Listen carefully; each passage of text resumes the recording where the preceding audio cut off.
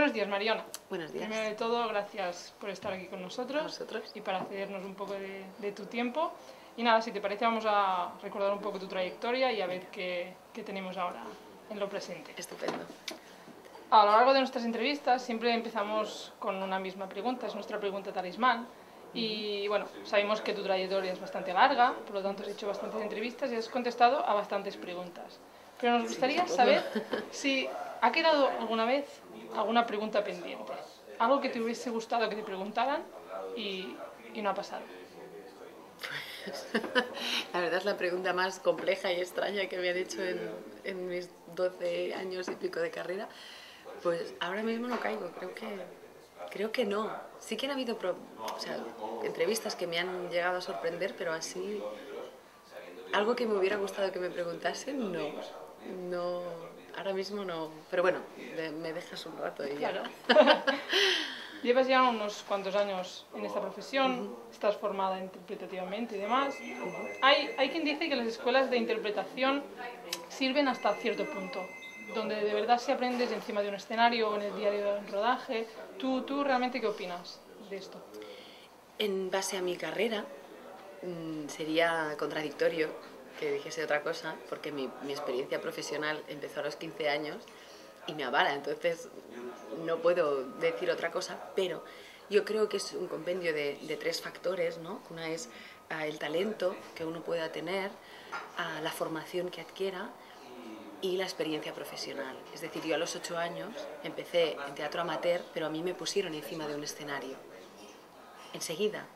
Entonces, es importante eh, contactar con el compromiso del escenario, con el contacto del público. Es, importante este, esta experiencia en cuanto antes. Aparte, hay que haber un talento, una predisposición, una facilidad para, para este trabajo en, en el actor, pero la formación es imprescindible. Alguien muy importante para mí me dijo que si no me formara, si no me formaba como actriz, a mi talento caducaría algún día y, y estaría robando el trabajo a otra persona que, estuviera más preparada que yo. Entonces esto me hizo reflexionar mucho y de hecho me hizo cambiar un poco el rumbo que tenía pensado para mi vida y dediqué a apretar un poco más. Es decir, yo empecé con una formación amateur, luego empecé con el contacto en escenario, luego empecé con el contacto profesional y luego acabé de formarme y sigo formándome en cursos, escuelas y talleres varios. Es decir, el orden de los factores No altera el producto. no altera el producto, pero sí que es importante que estén, yo creo, todos. Te, te hemos podido vis- te hemos podido ver en diferentes trabajos en la televisión, pero también en, en teatro. Para ti, ¿cuál es la mayor diferencia de trabajar un papel para teatro o para televisión? Yo creo que, bueno, es el tiempo, básicamente el tiempo que puedes dedicar a profundizar en las escenas, en las secuencias, en el personaje, aunque a veces la falta de tiempo televisivo se tiene que suplir de otra manera, es decir, trabajando mucho en casa. Y la mayor diferencia es esta, ¿no? Es la profundidad con la que se trabajan las relaciones y las escenas. Aunque no con eso quiero decir que el trabajo sea un, en teatro sea un trabajo más bien hecho y en televisión uno más prof- superficial. O sea, yo intento trabajar al máximo los dos, pero son disciplinas distintas, son exigencias distintas para un actor. El trabajo del teatro implica, aparte de la adrenalina del directo, que el público es, es un personaje más de, de una función teatral, ¿no? La energía que te transmite, a veces notas que el público está más receptivo, menos, solo con salir al escenario. Pero se puede profundizar mucho más, es decir, tú durante dos meses trabajas un número limitado de escenas. Yo ahora vengo de, de estar en La Regenta, eran 17 escenas durante dos meses. El nivel de profundidad, de complejidad, de matiz que se adquiere es distinto.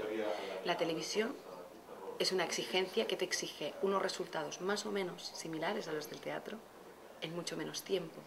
Y a veces es necesaria esta frescura de mm, las cosas nuevas y recién planteadas. Pero en la televisión tiene un primer plano así, que, que te enseña puramente, no hay trampa. En el teatro tampoco, pero es- el trabajo es más corporal, es más global. En la televisión las, las- muchas veces las emociones se tienen que mostrar solo con los ojos y solo con la expre- expresión de mitad de cuerpo para arriba. Entonces enseñar esto sin pasarte, porque es televisión y tenemos un plano muy pequeño, por lo tanto estamos muy cerca, yo creo que el matiz es otro, pero hay matiz, ¿no? Y es, es difícil. Yo siempre me he tomado este, este, trabajo muy en serio, porque así me lo han enseñado y así lo he valorado. Y supongo que habrá gente que no, no hará este análisis, pero para mí yo creo que, que es importante saber con la proximidad del, del ojo del espectador con la que estás trabajando. Hace mucho tiempo estuvieron con nosotros dos de los grandes Fernandos de la ficción española, Fernando Tejero y Fernando Guillén Cuervo, y nos dijeron algo que nos gustó. Nos dijeron que vosotros sois grandes mentirosos, que transformáis grandes mentiras en grandes verdades. ¿Tú qué opinas esto? Estoy absolutamente de acuerdo. Exactamente. Nosotros somos mentirosos a sueldo, que tenemos que convertir algo que para nosotros no es cierto que sea verdad para el espectador. Yo siempre he pensado que un actor, una actriz, yo me considero un vehículo para mis personajes. Yo soy el cuerpo y soy el vehículo para que ellos expresen. Entonces, para mí pasan una serie de emociones que para mí, como persona, no significan nada, pero que tengo que hacer llegar con toda la verdad a la persona que me está mirando. Entonces, sí, estoy súper de acuerdo. Muchos te conocimos por un papel que hiciste en una serie muy conocida aquí en Cataluña, Recuerdo sí. la Ciudad, y nos gustaría saber qué queda de aquella Mariona Rivas del cor de la ciutat.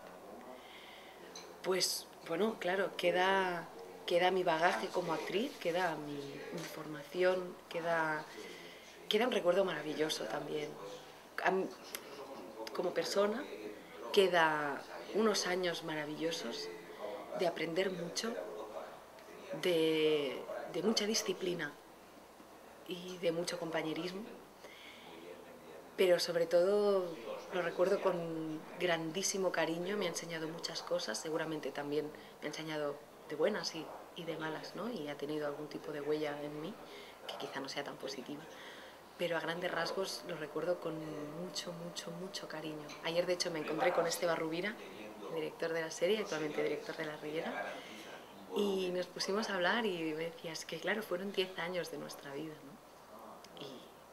yo recuerdo con, con mucho, mucho afecto, muy bien arropados también. Hace mucho estuvimos con Pepe Antón Muñoz y nos decía exactamente lo mismo, que se, se creó como un clima muy familiar, que hicisteis mucha piña entre todos y que esto facilitaba muchas veces el, el trabajo que, que yo creo que, hacer. Sí. Yo creo que sí, además éramos, uh, se juntaron dos generaciones, ¿no? Cada, la panda de, de gente joven Uriol Vila, Carlos Tolsina, Ferran Carvajal, bueno, no era tan joven, él tenía mucha más experiencia que nosotros, King Gutiérrez y yo, eh, éramos la pandilla de jóvenes y teníamos cada uno unos padres ficticios que nos llevaban muy derechitos. En mi caso, Merced Anega es una de las personas más importantes en mi vida, tanto personal como profesional, porque en, en aquel entonces se juntaron los dos, pero estábamos muy bien arropados, se nos trataba con mucho respeto como profesionales, pero con mucho cariño y enseñándonos cosas muy, muy importantes que creo que han dejado huella en todos nosotros. Y yo lo recuerdo muy así. Se creó un clima así de mucha familia, de mucho cuidado, de mucha enseñanza y de mucho amor también. Echando un poco la vista atrás, si te parece, vamos a hacer, un pequeño... vamos a hacer un pequeño juego. Vale. Yo te voy a decir algunas personas que han pasado por tu trayectoria uh -huh. y tú me las tienes que definir solo con una palabra. Uy, eso es muy difícil, ¿no? Ves que yo hablo Hombre, mucho. No. bueno, si son dos, no pasa nada. Vale. El primero, Pepe Antón Muñoz. Mm, mucho cariño, mucho. Kim Gutiérrez. Mucha complicidad. Marcé Aranega. Es mi madre. Rodolfo Sánchez. Ah, un gran compañero, Rodolfo, sí, ahora me acuerdo. Sí, sí, es muy buen compañero. Raúl Fernández. Ay, mira, dos palabras. Lucha en la cocina, te voy a decir. el cocinero superior. No, no, los que hayan visto el internado sabrán de qué estoy hablando, de una secuencia que luchábamos en la cocina fue un infierno, pero Raúl también o sea, colaboró mucho, o sea, mucho equipo, pero sobre todo esto, lucha, cocina. Félix Gómez. Mi marido. Alejo Sauras. Mi amante. Haciendo un repaso en tu, tu, trayectoria, vemos que has trabajado con cantidad de personajes y cantidad de actores. Pero, ¿con quién te haría especial ilusión un reencuentro? A reencuentro. Pues con Kim, supongo. Volver a trabajar con Kim Gutiérrez me gustaría muchísimo, porque hace muchos años que no trabajamos juntos y realmente nuestro, nuestra, uh, nuestro pack de años de trabajar juntos finalizó cuando él dejó la serie y no nos hemos vuelto a encontrar a nivel profesional y creo que a mí me resultaría muy interesante ver qué ha pasado en estos años, ¿no? cómo ha cambiado nuestra manera de trabajar o cómo hemos cambiado también como actores y como personas, pero me harías reencuentro con Kim mucho. En tus papeles normalmente te hemos visto más tu faceta dramática, más que la cómica, pero nos gustaría saber, según tu opinión, para ti qué es más fácil, hacer reír o hacer llorar. para mí es muy difícil todo, en el sentido de que hacerlo muy bien es muy difícil. O depende del espectador también. Un espectador más frío le va a costar por igual las dos cosas. Pero no sé, yo creo que la gente ahora mismo está mucho más predispuesta a reírse, lo cual sería más fácil hacer algo cómico, pero para mí eh, la comedia merece mucho respeto. Y tengo compañeros que se dedican a la alta comedia, o sea, que hacen personajes muy, ¿cómo se dice? No sé, muy histriónicos, muy desgarrados, muy atrevidos. Y yo lo envidio porque a mí eso me da mucha vergüenza. Y supongo que igual también es por trayectoria. Empecé en lo dramático y me formé muy, muy a fondo en, en lo dramático. Mucha gente dice que los actores que no saben llorar no son actores. Bueno, hay muchas cosas. Yo creo que un actor en teoría tendría que saber hacer de todo, pero no somos máquinas. Entonces, si una persona tiene una base y es muy buen cómico y no sabe llorar, que nos, que nos importa, ¿no? Si él quiere aprender, ya aprenderá. A mí me encantaría ser una buena cómica, pero tengo mucho, mucho, mucho pudor. pero despertar algo en el, en el espectador es difícil, sea en la dirección que sea. No sé, no te sabría decir, yo creo que los dos requieren ser buenos, sí, sí. Desde que hemos empezado la entrevista no has dejado tu sonrisa, es una de tus cosas características. Y nos gustaría saber qué, qué te hace sonreír por las mañanas. Um, pues supongo que tener un, un día bonito por delante, a día de hoy cuesta mucho levantarse con una sonrisa.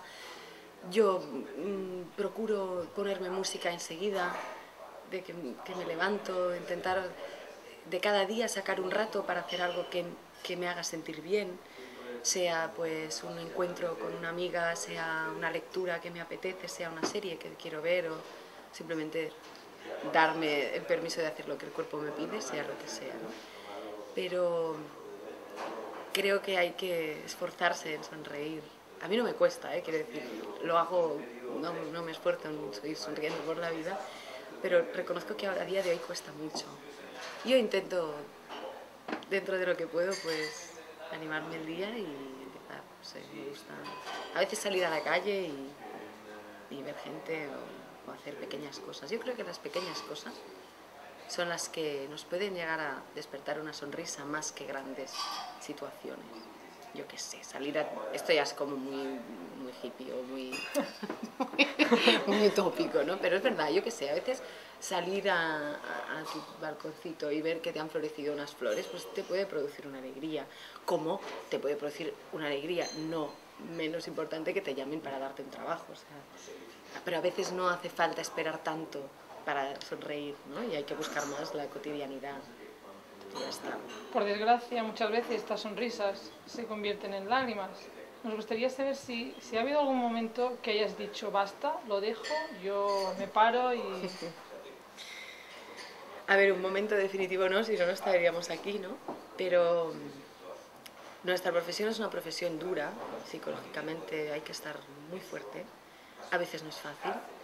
Ha habido momentos en que yo creo que todos, y quien diga que no miente o ha tenido mucha suerte, todos los actores, pero toda la gente del medio, ¿eh? actores, técnicos, representantes, um, guionistas, directores, maquilladores, o sea, todo el mundo ha dicho, no puedo más, me voy. Yo siempre he dicho que esta profesión es como, es como un amante, ¿no? que no te acaba de tratar bien, a veces te puede casi pegar, pero no puedes dejar, porque es vocacional. O sea, es un amor que sientes por esta profesión. Y es algo que nace de la vocación, pero de la vocación de transmitir sentimientos, cosas.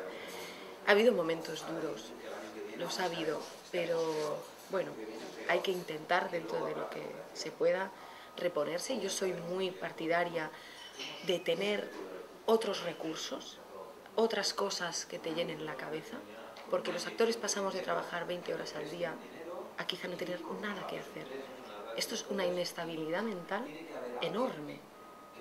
Necesitas tener la cabeza ocupada. Yo estudio una carrera, siempre hago cosas. No digo que sea el camino bueno, es el que a mí me funciona. Quiero decir, no es esto el que no lo hace, no lo hace bien. Pero a mí es lo que me funciona. Me funciona hacer la cabeza activa, la cabeza, hacer cosas y tener inquietudes y llenar el vacío que puede dejar la falta de un trabajo con otras cosas que a uno mismo le, le llenen. Digo, yo estudiar, otra persona hacer hípica, lo que sea, pero que, que, te mantenga activo, porque los actores, la gente del arte, los directores, son gente con la mente muy activa. Entonces, tenemos una mente que nos va a 300 por hora. Parar eso es muy complicado. Por eso dicen que los actores están todos locos. pero la gente que tiene estas inquietudes cuesta, hay que, hay que aprender, eso se aprende, ¿eh? yo no nací enseñada ni mucho menos, pero acabas aprendiéndolo. Así que sí, en resumen sí, ha habido momentos duros. En nuestra sociedad ahora mismo estamos viviendo un, un momento bastante dramático, sobre todo la parte de cultura, sanidad, educación. Parece que hay unos cuantos empeñados en maltratar nuestro, nuestra cultura, nuestros tesoros y nos gustaría saber qué opinas tú de esto. ¿Tú crees que realmente sobreviviremos o terminarán con, con acabar con muchas cosas? Yo creo que más que, que maltratar hay gente muy interesada en anular estas inquietudes de pensamiento por parte de la gente que los ofrecemos, las ofrecemos que somos la gente del arte, de la cultura, como la gente que los recibe, que son los espectadores. Creo que es un momento mmm, francamente difícil y muy duro, que nos está poniendo a prueba, este trabajo siempre nos pone a prueba, pero ahora más que nunca. Creo que es el momento de mantenerse fuerte, de mantenerse unido y no, no creo que sea momento de rendirse, es momento de intentar hacer lo que sea, no a cualquier precio, pero siempre desde el respeto a la profesión y al actor y al director y todo. Pero es un momento de, ir a por todas, desde la, desde la paz y desde la seguridad de que estamos haciendo lo que debemos. Tenemos un deber con la historia y con la sociedad, que es transmitir nuestra cultura, defender nuestras inquietudes y no dejar que esto suceda. Digo esto desde el punto de vista sabiendo que es muy duro, que hay gente que lo está pasando muy mal, todos de hecho, porque cuando hablas con un compañero que está pasándolo muy mal, no puedes evitar pensar que podría ser tú o que vas a ser tú. Entonces es un momento, tanto socialmente, pero sobre todo en el ámbito de la cultura, de seguir luchando por producir, seguir luchando por hacer proyectos, hacer obras de teatro, aunque sea reponiendo obras que ya se han hecho, aunque sea haciendo series a bajo presupuesto. Tenemos que, somos gente que nos reinventamos, constantemente. Entonces vamos a encontrar la manera de resistir, pero tenemos que resistir. La cultura no, no es un entretenimiento, la cultura no es un capricho. No es un lujo. No es un lujo. No es un lujo. es un lujo tener este don de espectador, de tener esta inquietud para ir a ver teatro, para ir al cine, y es un don y es un lujo, perdón, tener este don para transmitirlo. Pero no es un lujo. Es lo que escribe la, la historia de la gente. Es donde se transmiten las inquietudes sociales, en una pantalla, en un plató, en una obra de teatro, en un escenario. Entonces, ¿Crees que tal hay vez... que defenderlo con uñas y dientes, pero con cabeza. ¿eh?